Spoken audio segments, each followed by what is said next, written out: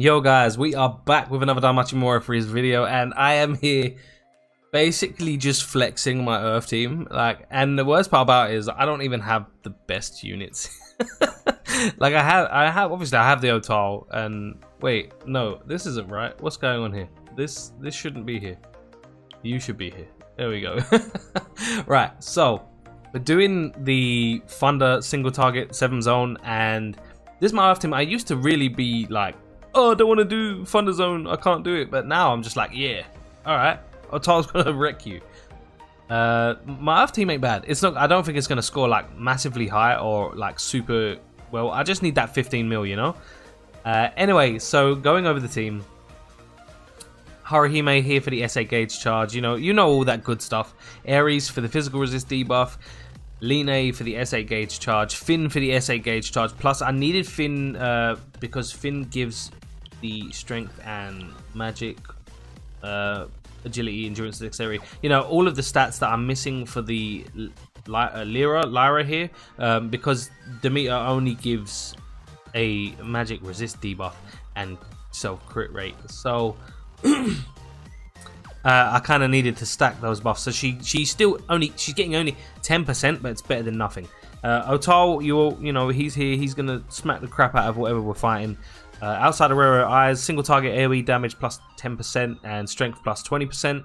She also has the highest base strength stat of any of my assists, hence her being on Ottar. And then Lyra, Lyra, Earth resist debuff. Uh, sorry, I'm clearing my throat. It's uh, it's kind of humid today, and uh, I've been rushing around. And in case you didn't know, I have asthma, but that's neither here nor there, and it's not your problem. Anyway, so uh, Lyra's here for the Earth Resist debuff and the Magic Resist debuff, so she's pretty self-sufficient in that sense. And then uh, Goblin Slayer's here for the single target AoE damage buff. Winter Hestia for the 10% Earth damage, plus the counter and guard rate is pretty helpful. And then finally, I have the Anniversary Gareth now. I only ever wanted one copy of him, but after using him a few times and how much damage he actually puts out, I regret not getting more copies. Uh, he he hurts, man. He does a lot of damage, even at plus two. And I probably will put some. No, you know what? I'm not gonna do that. I'm not gonna put star bonds in him. If you don't know what you should be doing right now, you should be saving all of your bonds, gnome tickets, and everything like for the next lot of celebration banners. Hold on to them. Don't waste them on units. If you didn't get a unit and that unit's like, if you didn't MLB a unit and that unit's not like considered top tier, don't bother. Uh, the banner may come back in the future, and if you've got Iris, go for it. But until then, don't waste star bonds on on Gareth, please. Anyway, on him I have the Take because Take is the second highest strength buffing. Uh, no, gives a 20% strength buff, but has the second highest base strength stat. In saying that, let's just get into the game, shall we?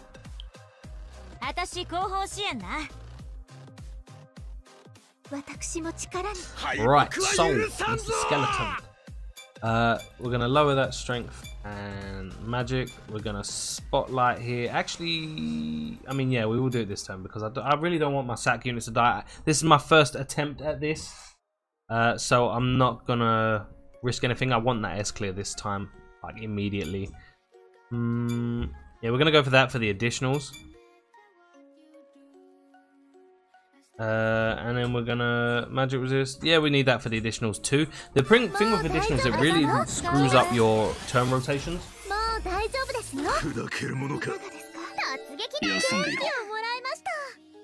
Okay, so turn two, we're gonna switch things up with the Yasuga. Sweeping path for the single target and AoE damage buff. Uh, my phone's vibrating. Is it an emergency? It is not. okay. Uh, then we're gonna go for the Physical resist, earth resist, and guard rate debuff. Such a great utility skill, man. And then we're going to go for the plus 50% magic and then the earth resist debuff for two turns. Going to extend that with Yasuga, of course. And then I think turn three, I'm going to reset their additionals so that they don't have to reset as often after. Whoa! Okay. Um, these on roll bro. These guys need to stop hitting so damn hard. Um, there's the earth buff that Lara's missing. Uh, yeah, we're gonna reset these additionals, I think, because his he loses his this turn. No, next turn. And I, I kind of don't want to waste any after the SA kicks in, so we're gonna do it this way for now. And hope for the best. I really hope he doesn't. Like, he needs to chill with that nearly 3k damage type bull. Like, you know, because that's not that's not cool, man. uh, nice. Now we can go to skill 3. SA with Haruhime. We're gonna remove this and then he won't reapply again until turn 7, so now that I know that, you would have think, you know what it is? It's because every time I do 7 Zone, I, I literally just do the recording and then I don't play it no more. like, so I never actually took the time to think, wait, turn 4 and turn 7 is when they lower strength and magic. Um, and it's random, by the way. Like they could do it on multiple, or they could do it on an individual. So, like you, they could end up casting this the debuff on one person like three times. Yo, near 400k straight off, and then 200 from the additional. That's not even a joke. Even that's what I'm saying. Even Lyra has some stupid damage, which is why I love putting her on the team. It's like it's just mad. Uh, usually I don't. Um, usually I'll be like, no, don't ever like if you can avoid it, don't use a team with both strength, like physical and magic types. But Lyra just works because Lyra has all of the resistance debuffs and buffs her own magic. All she needs is someone to buff her earth damage, and then Ottar's like buffs everything. He's just so self-sufficient. He he doesn't matter who else is on the team. That's the that's the reason it works. Nearly 400, like, nearly 600k just from one turn's worth of damage, man. Okay, I kind of need to Sheikah now because this is not cool. Right now we're gonna SA with with Ottar, and I, I, don't know. I'm probably gonna get like a turn eight or turn nine finish as always. And then next turn I have to use skill two with Gareth because they're gonna remove. Wait, how many? Wait, wait, wait, wait. How many additionals do I have here? I need to reset her additionals again. I mean, at this point, I actually think it might not be worth. Hmm. Yeah, let's. I'm gonna. I'm not gonna bother. Uh, the fact that hers. This is the problem. Because hers is only two additional actions and Ottar's is free. It really throws off the rotation. That's the only issue I have with these um, anniversary units. And then, I mean, Gareth doesn't even matter. His additionals are just shields, and I don't really rate that. That's like that's horrible. You don't want to nullify an attack because then you won't count on. That's just that's just not a good mechanic to have put in the game. Like unless it's like intentional, say like it blocks one SA, which would be broken by the way. Let's not beat around the bush. That would be completely busted. 1.2 mil. I'm happy with that. As long as I'm gonna complain about it. God damn it, Haruhime counter! this is what I'm talking about. If you were watching any of my videos at any point, you would know me and Haruhime basically are not talking right now. We're not on good terms. She doesn't want to counter heal, and it's always the clutch ones that she misses out on.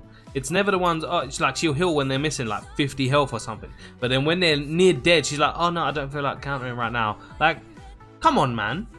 Come on. uh, let's just go.